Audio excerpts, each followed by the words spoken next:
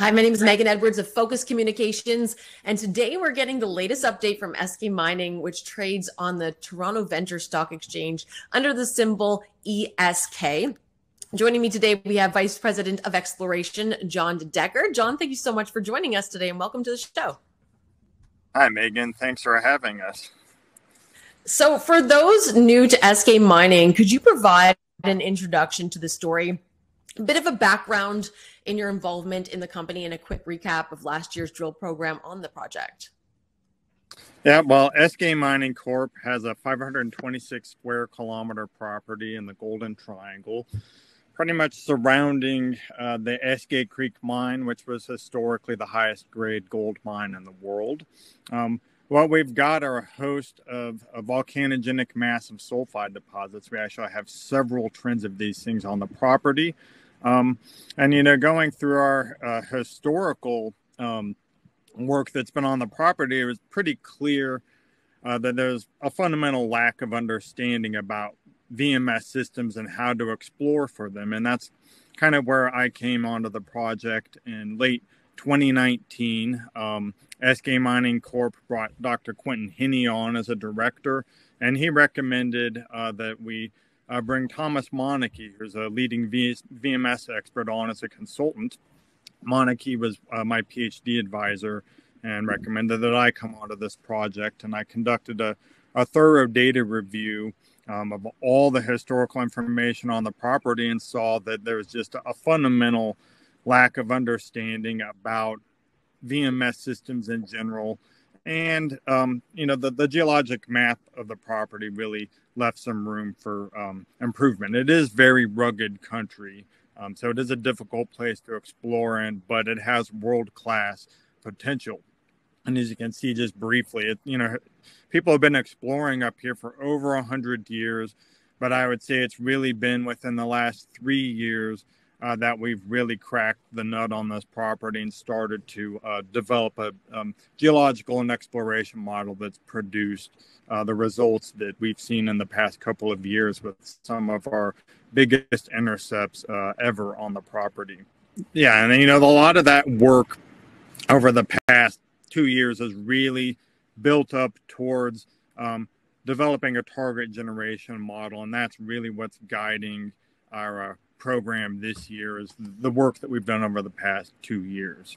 So we had you on the FCIR webinar series last month where you provided the latest overview from Eskay's VMS project in the Golden Triangle.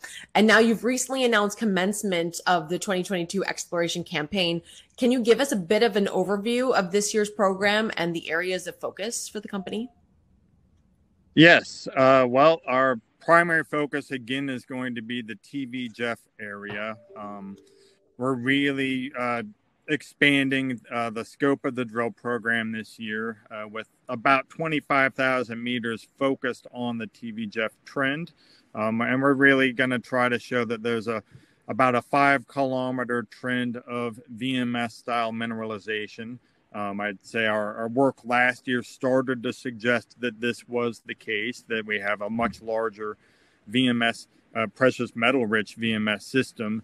And uh, it's looking like with our preliminary work so far in the field this year that that is the case. We've actually, uh, particularly on our Jeff North targets that we um, mentioned in that previous um, interview on May 10th, we've seen that that's actually an intensely silicified, hydrothermally altered trend that goes for at least one kilometer north of Jeff. And that's actually where we're drilling right now. And that's, mm. you know, what this uh, map right here is showing up in this northernmost areas where our uh, active drilling is at this point. Um, currently, we have two drills on the ground. Um, our third one is mobbing today, and we'll have our a fourth drill running uh, within a week. Um, and we're, we're about to hit a thousand meters so far um, as of tomorrow. So we've actually got quite a head start on the season compared to the past couple of years. And uh, we have a, a, very robust target generation um, method that we've developed that's actually starting to show results based off of our um, field investigations. I just wanted to uh, show you kind of a cross section through this TV and Jeff area. Um, you know, we're, we're doing a multi-component approach here where we have geophysics that we've done over the past two years. Uh, this is uh, our induced polarization or IP cross sections, which we've been able to show uh, these resistivity anomalies correspond very well with hydrothermal alteration and mineralization um, at both TV and Jeff. And we're able to see that these anomalies continue along strike in areas where there's never been any drilling. So this is really uh, one of the main methods we're using for target generation, uh, particularly in coordination with uh, some of the soil sampling we did last year that shows some very robust um, silver, arsenic, and mercury soil anomalies associated with these geophysical anomalies. And as I said, boots on the ground so far this season has confirmed uh, that a lot of these anomalies in areas with no drilling do correspond to intense hydrothermal alteration on the surface. So it's very encouraging so far. Yeah, absolutely. Um, Quinton recently introduced the Excelsior target and similarities between that and early indications from TV and Jeff. Uh, could you tell us a bit more about this target area? Yep, I'll go right back uh, to this uh, map view right here. This is our SkyTEM uh, survey we flew in 2020. And uh, what we've seen is that uh, the known areas of mineralization at TV and Jeff correspond to these conductivity anomalies. And you see several of them along this eastern trend here, the east limb of the Eskay anticline.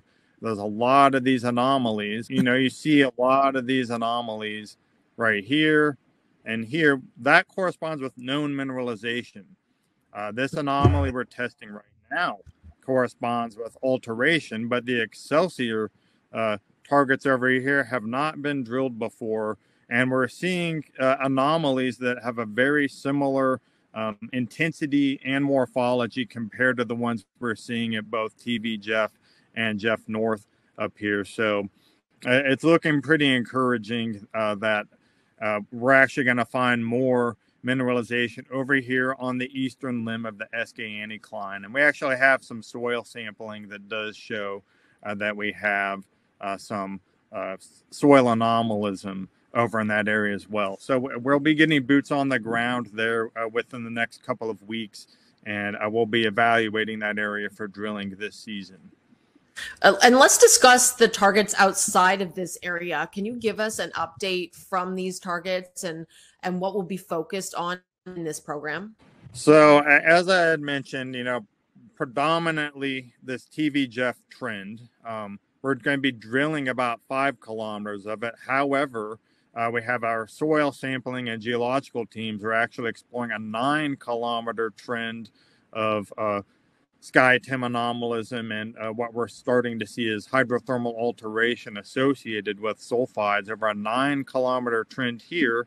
However, our Scarlet Ridge target up here and the northeast part of the property is our, our second highest priority. Uh, there's really never been any drilling up at Scarlet Ridge. Uh, there's been some at what's called the AP and Tarn Lake targets. That's about six kilometers to the south uh, west of Scarlet Ridge. And as soon as the snow melts, we'll be getting boots on the ground up there and doing a systematic anaconda style mapping campaign, which is basically where we not only map the rock types and the structural geology, but the hydrothermal alteration and the mineralization and we've got about 8,000 meters of uh, drilling uh, reserved for uh, these Scarlet Ridge and uh, Tarn Lake AP targets up here in the northeast part of the property. Um, we're also going to be doing an extensive anaconda style mapping program down here in the southern part of our property around C10, Vermilion, um, and Spearhead. Um, and we also got um, quite a number of other showings uh, that have been indicated by our 2020 BLEG survey that we'll be getting on the ground. So we have a dedicated prospecting team that will go out and hit nearly every single target on this property. If that warrants any follow up, uh, we will be uh, sending out our mapping team to do more uh, work on that. And if we see something that's really phenomenal, we'll, we have the flexibility to get a, a, drill out there because at this point, the entire property is permitted for uh, drilling at this point. Okay, excellent. Um, and to finish things off for our listeners, could you give us a quick overview of why investors should keep an eye on Eskay Mining in 2022?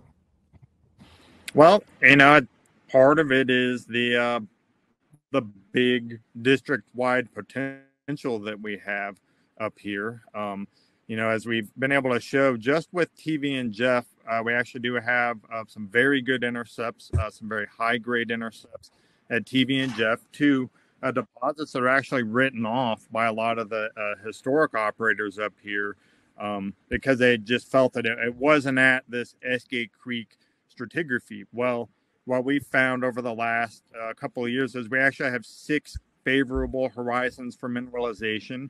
It's actually a pretty myopic approach just to target the contact mudstone when there's six other uh, horizons to target. We have stacked VMS systems lying along several geological trends, um, which you know really it, it, makes it almost like shooting fish in a barrel as far as finding the VMS on the property. Uh, the the big uh, you know unknown is just how much gold and silver there is in these VMS systems, and that's something we'll just have to wait uh, for assays uh, for. But you know I'll go through this. We do have um, several pads built right now, and we are getting drill coming in. We are on target uh, to uh, hit our 35,000 meters this season.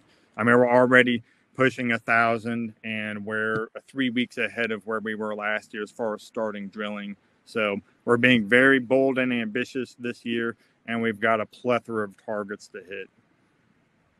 Yeah, it sounds like, and sounds like you have a very busy year ahead. Thank you so much, John, for your time, and we're looking forward to hearing more from you soon. All right. Thank you very much, Megan.